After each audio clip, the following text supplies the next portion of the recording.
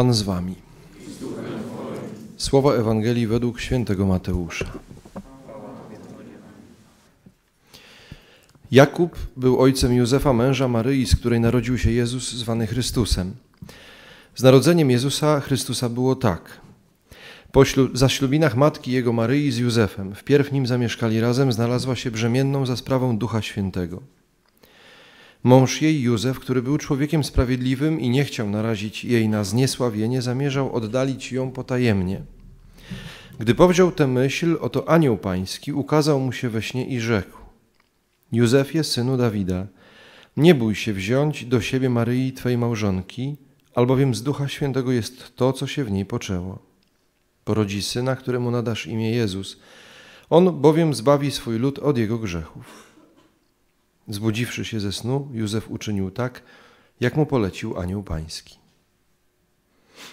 Oto słowo pańskie.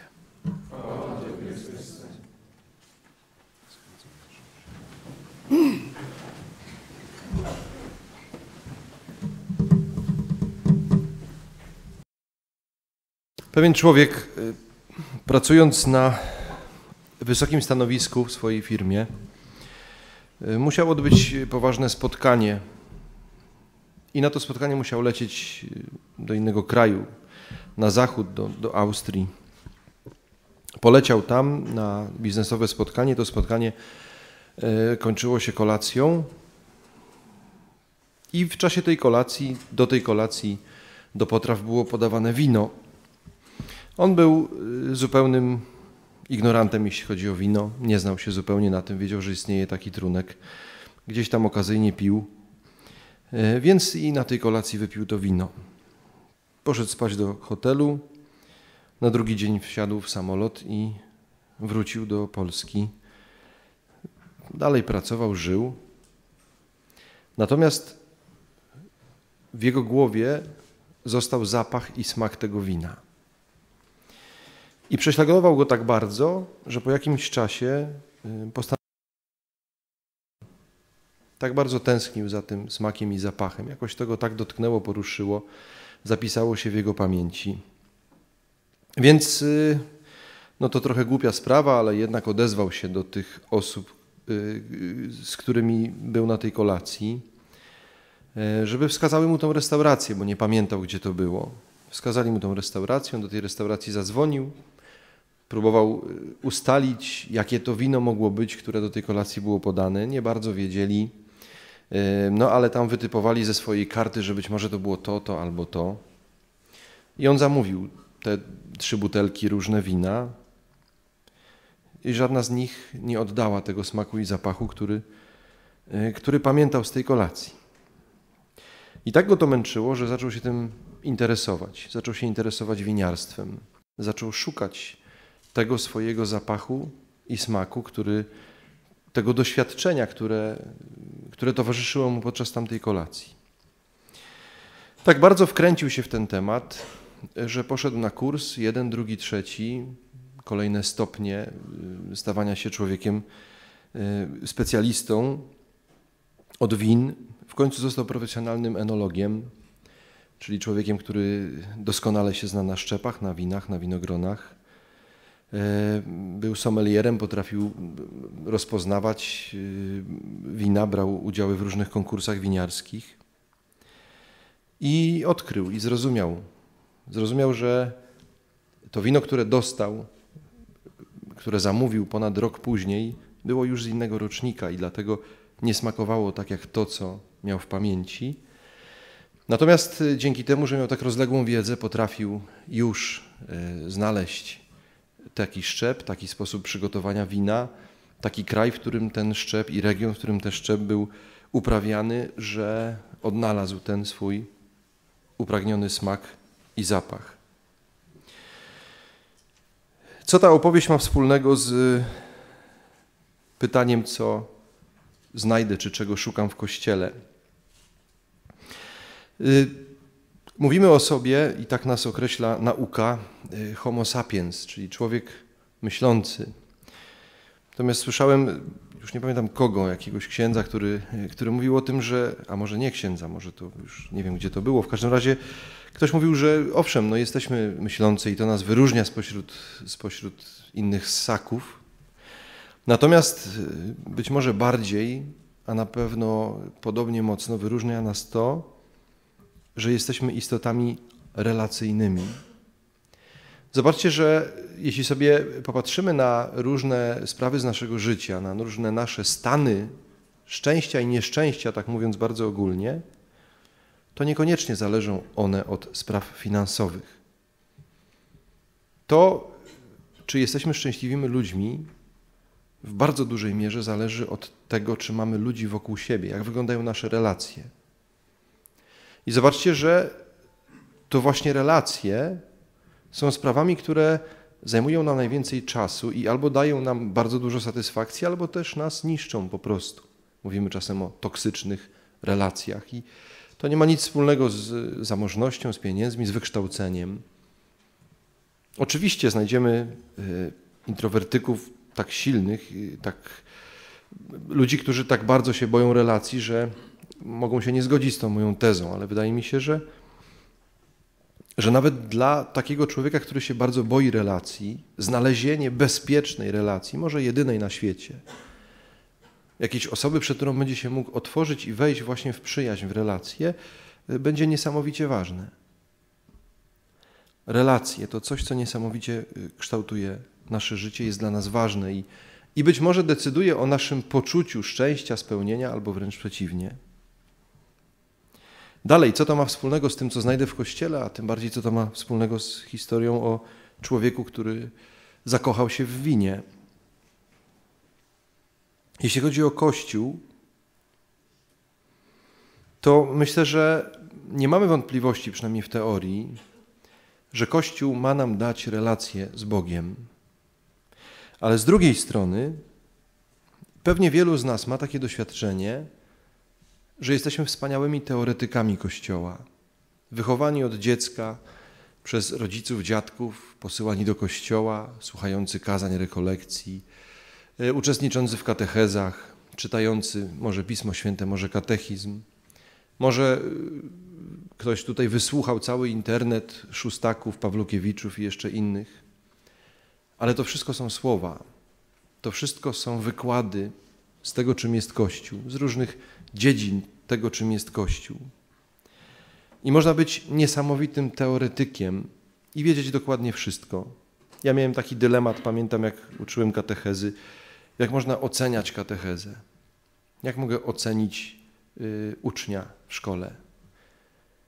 Czy mam ocenić jego wiarę, czyli nie wiem, śledzić go, czy chodzi do kościoła, zajrzeć w jego serce, jak tam właśnie wygląda relacja z Bogiem? Czy mam ocenić wiedzę, czyli tak naprawdę może przyjść ateista, satanista i zdać na szóstkę. Widziałem w tym jakiś e, dziwny dysonans i, i, nie wiedziałem do końca, jak sobie z tym poradzić. Na szczęście krótko uczyłem w szkole. Natomiast e, zobaczcie, że, że istnieje coś takiego. Myślę, że bardzo dobrze oddaje to historia świętego Pawła. Człowieka, który, jak samo sobie pisze, był wychowany i wykształcony jako pobożny Żyd. Był faryzeuszem, znawcą pisma. Był wychowany w tradycji wywodzącej się z Tory, z pięcioksięgu. Być może znał na pamięć pięcioksiąg, psalmy, proroków, a na pewno żył nimi bardzo mocno. I przyszedł moment, kiedy pod Damaszkiem rozpoczęła się jego relacja. Teoria, którą poznał, znalazła odpowiedź w praktyce, w Chrystusie, bo przecież wszystkie pisma Starego Testamentu zapowiadają Mesjasza. On się wyuczył tej teorii, aż w końcu poznał tego, o kim ta teoria opowiadała, i wtedy jego wiara stała się pełna. Miał wiedzę, ale przede wszystkim miał relacje. Mm, troszkę inaczej, gdybyśmy tą historię winiarza e, przyłożyli do wiary, ma się jego historia. On najpierw przeżył zachwyt, co prawda nie Panem Bogiem, nie drugim człowiekiem, a winem, ale niech to wino obrazuje nam dzisiaj e, relacje z, z osobą. Przeżył zachwyt. I zachwycony zaczął się uczyć teorii. ten zachwyt nad relacją doprowadził go do tego, dał mu motywację do tego, żeby, żeby odbywać kursy, żeby się uczyć, żeby wejść w tą rzeczywistość. W kościele, gdybyśmy chcieli to nazwać, powiedzielibyśmy, że istnieje kerygmat i katecheza. Kerygmat, czyli doświadczenie żywego Boga, i katecheza, czyli nauka o nim, o Kościele, o ta cała teoria, która jest nam potrzebna, żeby się w wierze doskonalić. Więc czego szukam w Kościele? Każdy z nas jest w innym momencie, etapie swojego życia, mm, ale myślę, że bardzo ważne pytanie, które warto sobie zadać, to to, czy ja mam relację z Chrystusem. Czy jestem teoretykiem wiary, czy, czy jestem człowiekiem, który go poznał, który, który go zna po prostu? Czy ty znasz osobiście? Czy znasz osobiście Chrystusa? Na rekolekcjach takich szkolnych najczęściej biorę jakiegoś ochotnika, pytam o imię, stawiam go na środku i mówię: Zobaczcie, to jest tam Patryk albo Kasia. Widzicie? Widzimy. Można dotknąć, coś powiedzieć? Powie, no dobrze. Gdyby jutro wam ktoś powiedział, że nie było Patryka czy Kasi, nie ma takiej osoby, nie ma metryki chrztu, nie ma y, rodziców, nie ma, nie ma. Uwierzylibyście w to? Pomyślelibyśmy, że bierzemy udział w jakimś kawale, w jakimś, nie wiem, pranku, w jakiejś historii dziwnej, albo że zwariowaliśmy. Bo jeśli doświadczę obecności czyjejś, nawet na chwilę, jeśli moimi zmysłami, tak jak ten człowiek zachwycił się winem, pojmując je y, zapachem i smakiem, tak my, jeśli przeżyjemy relację, choćby tylko na chwilę, skosztujemy kogoś, jego obecności, widząc go, słysząc, czując też, to nie damy sobie potem wmówić, że tego kogoś nie ma. Więc jak to jest ze mną? Co jest moją motywacją wiary?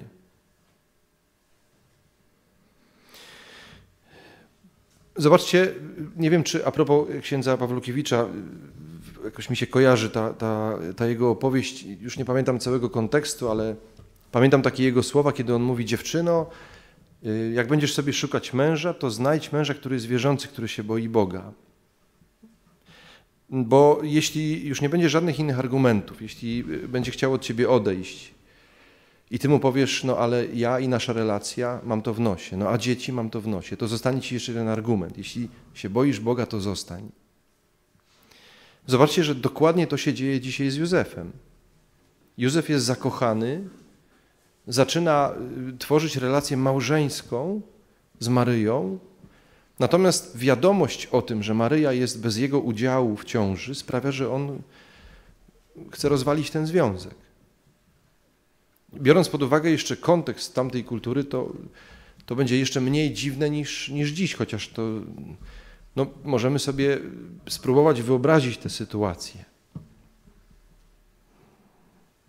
I Maryja na pewno mu to tłumaczyła. Możemy sobie wyobrazić to tłumaczenie. No przyszedł anioł i jestem w ciąży. I zostaje Józef nie dlatego, że ją kocha, nie dlatego, że jej uwierzył, Zostaje dlatego, że ma taką relację z Bogiem, że kiedy śni mu się anioł i mówi zostań, bo ona mówi prawdę, to on zostaje, on w to wierzy.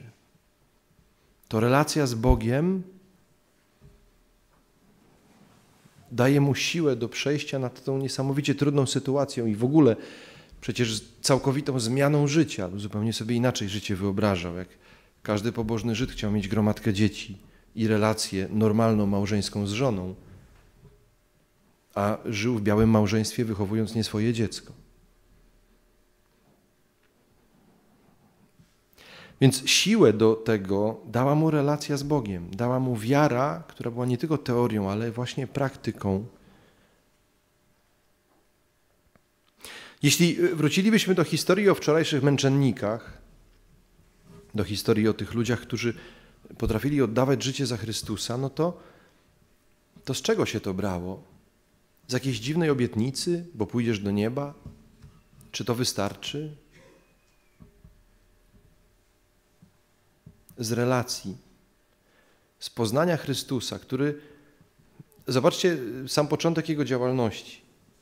Idzie sobie Jezus, siedzi w łodzi Jakub i Jan ze swoim ojcem i naprawiają sieci. I Jezus mówi: Pójdźcie za mną. I oni zostawiają sieci. Tak samo Piotr i Andrzej. Zostawiają sieci i idą za nim. Co to był za człowiek chodzący po ziemi, Jezus Chrystus? Jak niesamowicie budował relacje od pierwszej sekundy, że spojrzał na człowieka, powiedział: Pójdź za mną, i ten człowiek zostawiał wszystko i szedł za nim. Szedł za nim, nie za jakąś obietnicą, nie za jakąś teorią, nie za jakąś księgą, ale za żywym człowiekiem.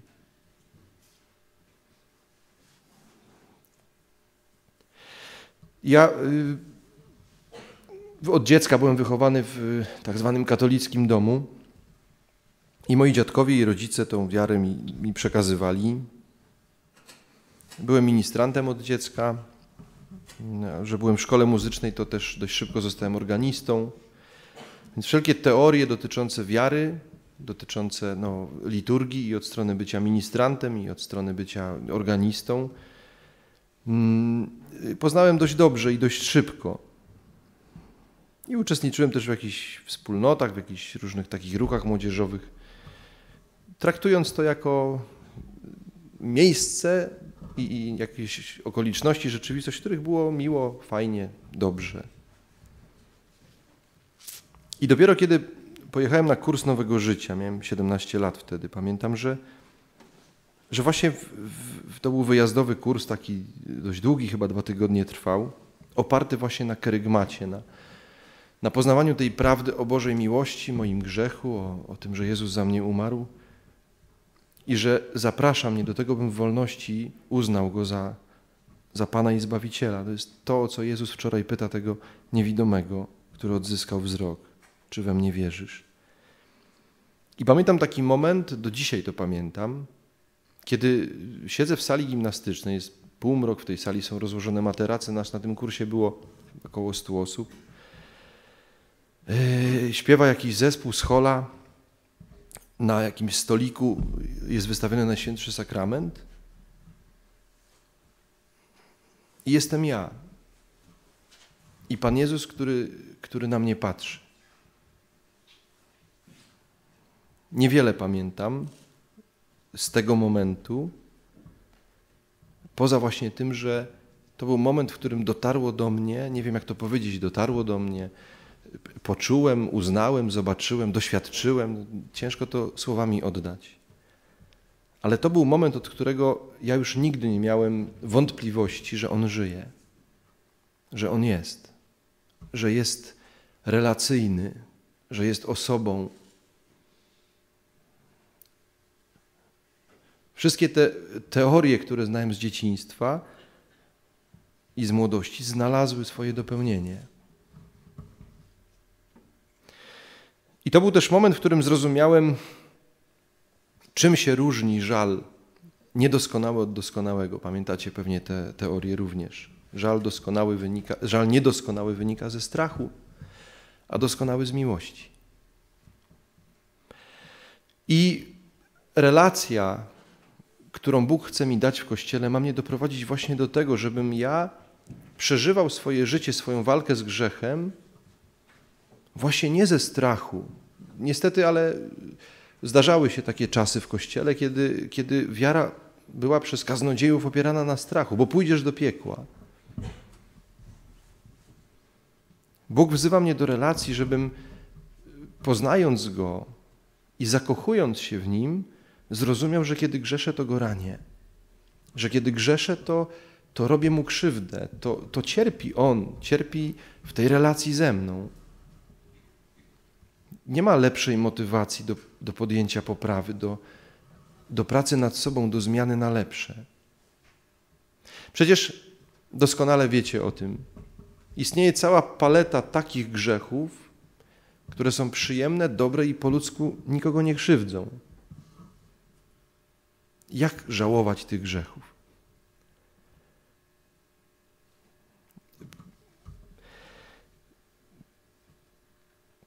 Ja byłem rozrabiaką, że tak użyję takiego archaicznego słowa, jako dzieciak i moi rodzice często byli wzywani do szkoły z powodu różnych bujek, wygłupów, nie wiem, chęci podpalenia szkoły. Ja nie cierpiałem szkoły, uważałem, że to było straszne miejsce, obóz koncentracyjny. I jako dzieciak w moich oczach rodzice i nauczyciele to byli, to byli właśnie ci prześladowcy w obozie. O, to była jedna e, grupa, która się kontaktowała ze sobą, właśnie moi rodzice byli wzywani, szli szczęśliwi, a znowu, znowu przegiął, więc będzie okazja, żeby go ukarać. No nie, nie, nie, nie, nie jestem z żadnego e, patologicznego jakiegoś domu, ale, no ale miałem różne kary jako dzieciak. E, mój ojciec choleryk, więc mama czasem sama do tej szkoły szła i próbowała potem tacie te różne rzeczy przedstawić tak, żeby, żeby za bardzo go, jak to on mówił, krew nie zalała, bo mogło się to dla mnie źle skończyć. Natomiast y, właśnie jak byłem nastolatkiem, to odkryłem niesamowitą rzecz.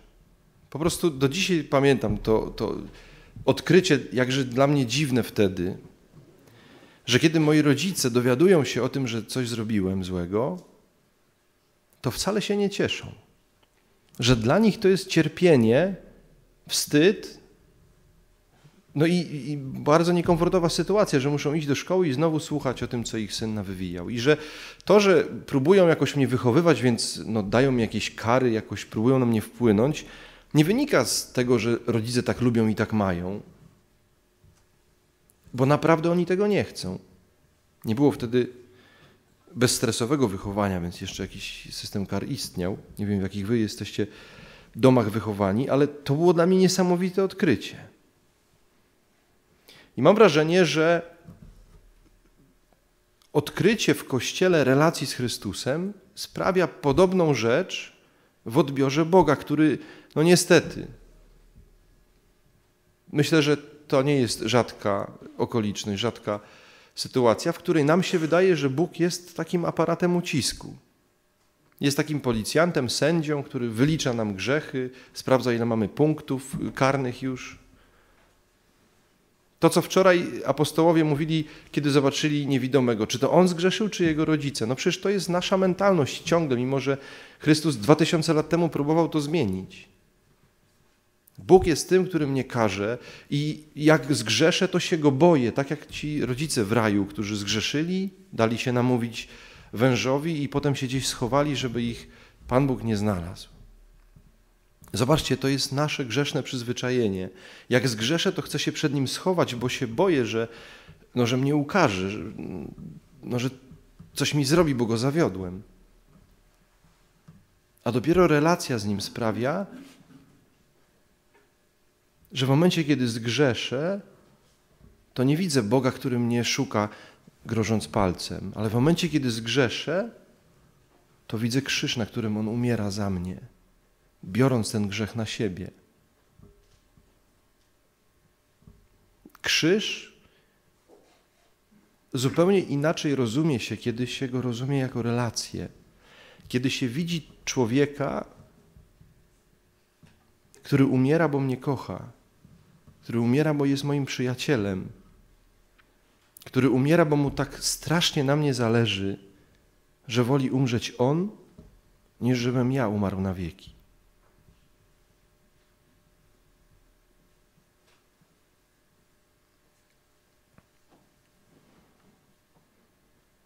Kościół to miejsce, w którym,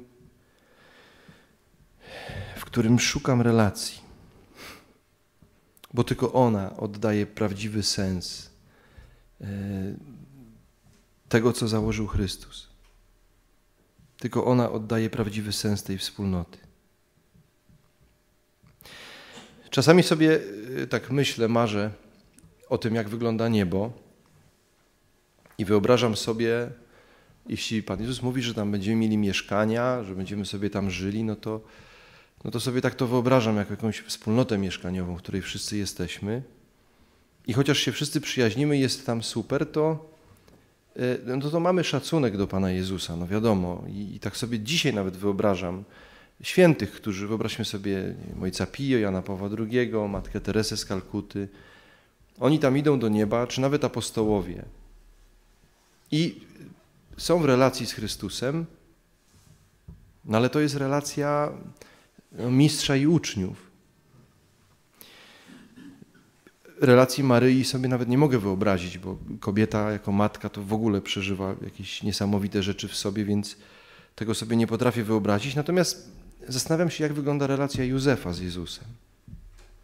Józefa, który zmieniał mu pieluchy, Józefa, który go szukał, jak się zgubił, Józefa, który może go upominał, jak się bił z kolegami, a może go bronił, jak, jak był słabszy od kolegów. Przecież Jezus był zwykłym dzieciakiem. Jak Józef, siedząc tam w niebie, patrzy na Jezusa, jaką on ma do niego relację.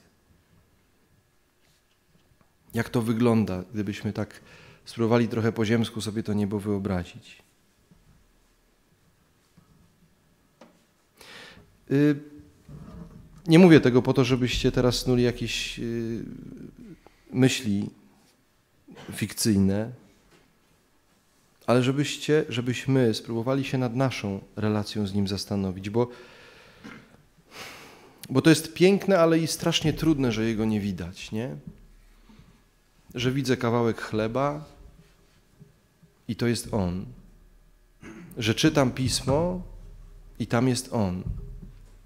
To jest niesamowicie trudne z jednej strony, ale z drugiej strony przecież dokładnie tak miał święty Paweł. Człowiek, który nawrócił, tak powiem, pół pogańskiego świata wtedy, a przez swoje listy do dzisiaj nas nawraca. On nigdy nie spotkał żywego Chrystusa. On znał teorię, miał wizję i to mu wystarczyło do końca życia. Więc jeśli jesteś człowiekiem, który takie doświadczenie ma, to dziękuj za to szczególnie dziś. I dbaj o to doświadczenie, bo, bo być może to doświadczenie żywego Chrystusa, które miałeś może przez moment gdzieś na jakiejś pielgrzymce, rekolekcjach, a może tak po prostu nagle cię dotknął, y, może już się nie powtórzyć. Może to ma ci wystarczyć do końca życia. Może to jest właśnie to biegnięcie za smakiem i zapachem, który mam w pamięci, tak jak ten człowiek, który zaczął poznawać cały winiarski świat, żeby wrócić do tego, za czym tęsknił. A jeśli takiego doświadczenia nie masz, to, to się o nie módl i spróbuj się na nie tak wewnętrznie otworzyć. Panie Jezu, ja chcę poznać relację z Tobą. Nie chcę, żeby wiara była dla mnie mitologią, żeby była opisem czegoś, co się kiedyś wydarzyło, a dzisiaj jakimś kultem, którym jak lękam, a ksiądz podnosi kawałek chleba. Chcę, żeby to była relacja, żeby, żeby moja wiara miała no, sens najgłębszy, jaki tylko może być. Bo co mamy więcej i ważniejszego niż relacje? Więc niech i ta dzisiejsza Eucharystia będzie momentem, w którym żywy, prawdziwy, choć niewidzialny Jezus nas dotknie. Nie nas, Ciebie i mnie. I życzę Ci tego, żebyś żebyś ten Jego dotyk poczuł tak, by Cię to zmotywowało do końca życia, do szukania Go, biegnięcia za Nim i, i życia wiarą.